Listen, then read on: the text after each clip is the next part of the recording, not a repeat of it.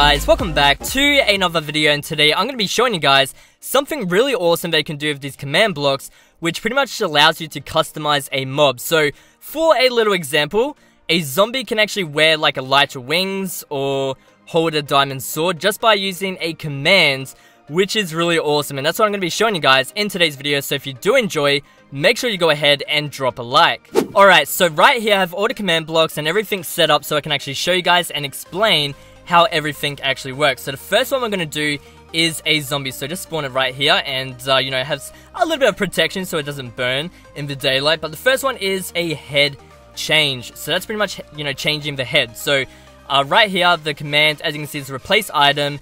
And uh, you can actually just kind of, you know, pause the video and type this out. And I will kind of explain it uh, very soon.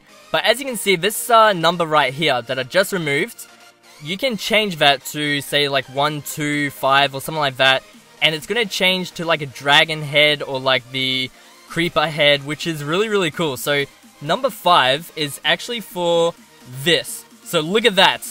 Just like that it's going to change and now a zombie is going to have a dragon head. that is so cool. So we're going to go ahead and remove that and we're going to type in a 4 now if we go ahead and do that again, as you can see, has a creeper head this time, so that's pretty cool. Not gonna lie, very awesome, and you can, you know, obviously put like a diamond helmet on it, or like an iron helmet if you really want to, but I think this is a lot more fun. Look at that. so cool. So we're gonna go ahead and actually, let me just kind of explain this uh, very quickly. So I'm just gonna type exactly the same thing and just kind of go through it. So just open that up. So replace item, just like that. And make sure you do spell everything correctly. If you say replace items, then it's not going to work. And I've done that many times, and I'm just like, why is it not working? But that is the reason why. So just do at E, and you want to do these little brackets, type, and then equals. So this one we're going to do a zombie. You can actually do like a skeleton or a stray or a zombie pigman, but this one we're going to do a zombie, just like that. And we're going to close the brackets, and now we're going to do slot dot armor dot head. So if you want to change like the chest plate, then it's dot chest or dot legs or dot feet. So it's the same command right here, except just, you know, this part is a little bit different. So head, and then we're going to do um, pretty much one, and then skull, and then one again, and a different number. So we're going to do one, or we can actually just do four again. And pretty much if you've done that uh, correctly, then it should work. So just go like that. As you can see, it just changed. So we can actually, you know, change what it's holding in its hand as well. So the command is right here. So this command is only a little bit different because it just says slot.weapon.main hand, one cookie. So yeah, that's pretty much it. So we can change this to say apple. And now if I do this, boom. As you can see, the zombie is now holding an apple. Uh, we can change that to anything really. So command underscore block, and then it's going to hold a command block, so there we go. so the next one is pretty much chest plate, except, uh, you know, the command is obviously exactly the same, except for one part, where it just says slot.armor.chest instead of, you know, dot head, or dot feet, or dot legs.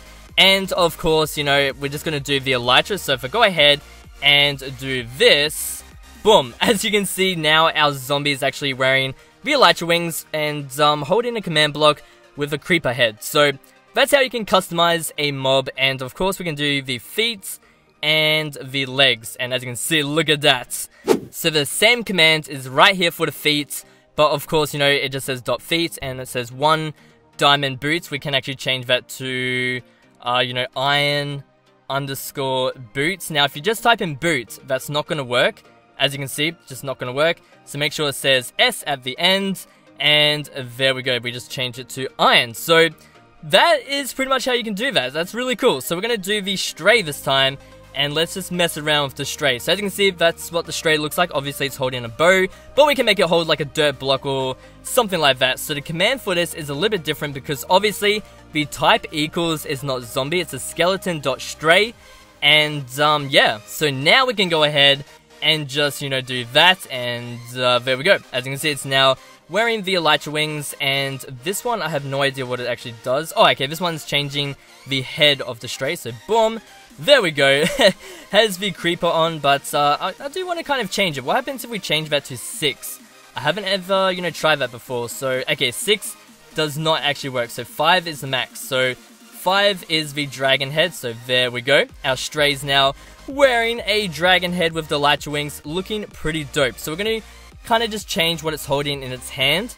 So, um, let me just quickly do this. So, replace item, just like that, and then at E, uh, the brackets type, then equals, and then we want to do skeleton dot. If you just type in stray, it won't work. I actually had a little bit of problems with that, so I couldn't figure it out, but that's what it is. Uh, so slot dot weapon dot main hand then one, and we're just going to do dirt. And uh, hopefully that does work. It should, if done correctly. So there we go. As you can see, it's now holding a dirt block instead of, you know, a, um, a bow. So that's pretty much how you can customize a mob in Minecraft Pocket Edition in the brand new update. No mods, no add-ons, just a simple command. So of course we can change like the armor of it and all that kind of stuff. You guys get the point. Pretty much it's the exact same thing as this, except obviously would just say equals skeleton.stray.